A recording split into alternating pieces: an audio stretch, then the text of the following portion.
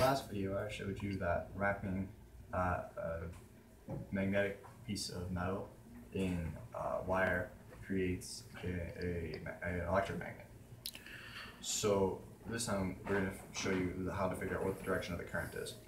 So it's called the right hand rule. And what you do is you take your hand and you wrap it around a wire like so. And that tells you the direction of the B field or the magnetic field. And then use your your thumb points the direction of the current um, or I.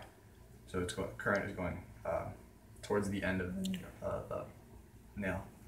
Um, and then the equation for figuring out uh, the f- electric force, which you can rewrite to equal the B field and the uh, charge and whatnot, is uh, force electric equals QV times sine theta times the B field.